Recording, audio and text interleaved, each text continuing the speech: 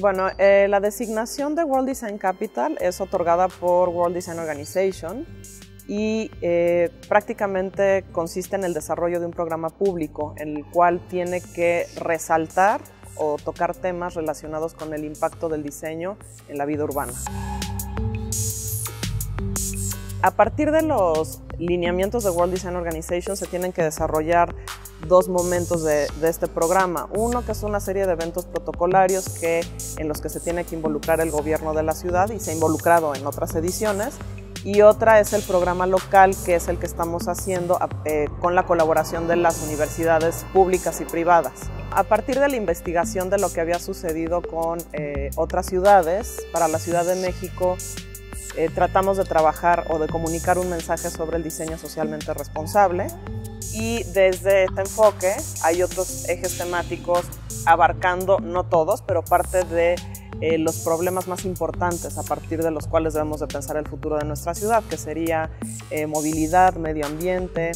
la experiencia del habitante, este, sustentabilidad, economía creativa, o sea, todos estos ejes temáticos van a apuntar de alguna manera hacia el diseño social.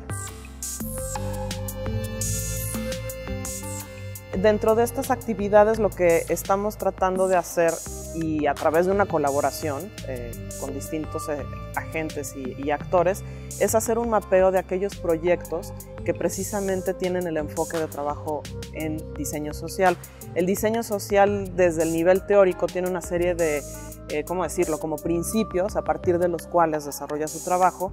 y es por eso que nos interesaba hacer más visible y traer a la conversación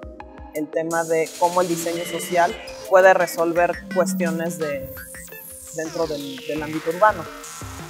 Eh, uno de ellos son prácticas colaborativas, eh, la integración con comunidades muy específicas, la generación de proyectos o metodologías de trabajo que se hacen en un contexto pero pueden ser replicables en otro. Es decir, sí es un enfoque hasta cierto punto alejado de la noción objetual del diseño.